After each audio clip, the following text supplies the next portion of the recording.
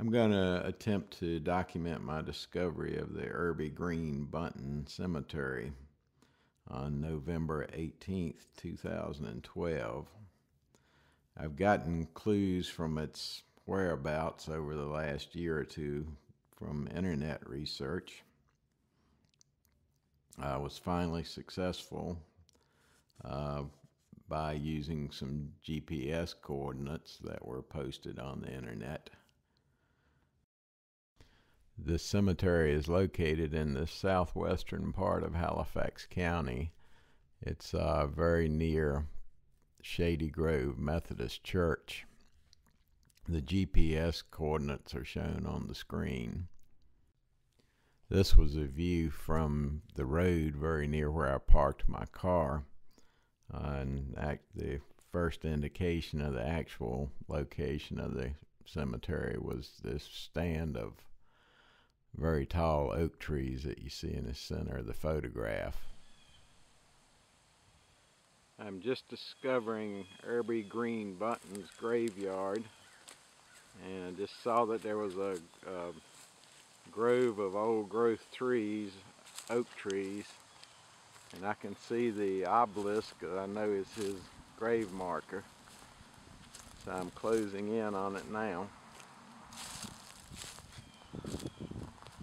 I can see several markers right above the old, among the old trees.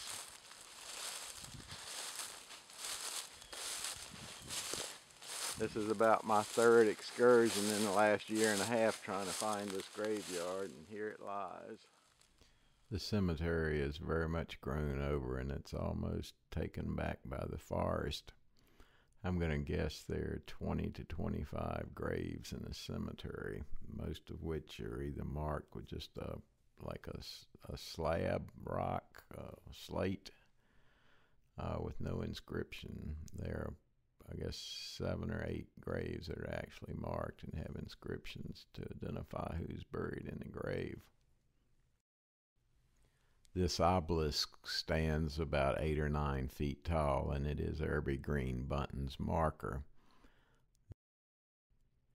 Irby was born in 1805 in Halifax County, Virginia. He married Nancy Dewberry uh, and on January 5th, 1826, in Granville County, North Carolina. He was a farmer, and later on in life, he's listed in the census as being a constable. He was a member of Dan River Masonic Lodge number 153. He and Nancy had about 10 or 12 children.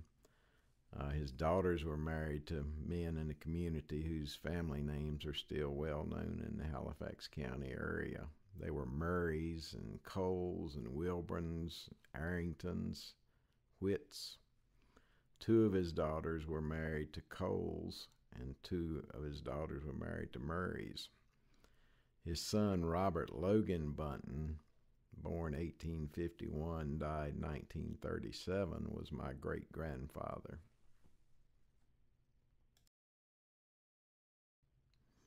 Here we have markers for Irby's daughter Rebecca and her husband John Cole. Uh, they're foot markers for those headstones as well.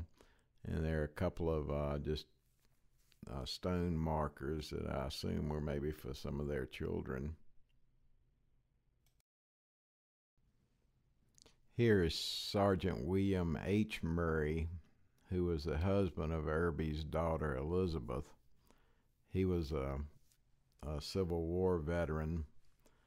Beside him is Irby G. Murray, which I assume to be uh, William and Elizabeth's son. He was a veteran of the Spanish American War, which was fought in 1898.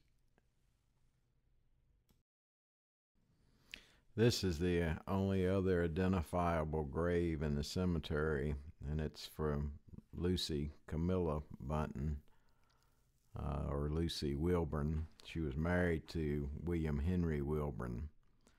Uh, and this, this marker was obviously very recently placed by some of her descendants, I assume. Uh, it looks pretty much out of place in the cemetery.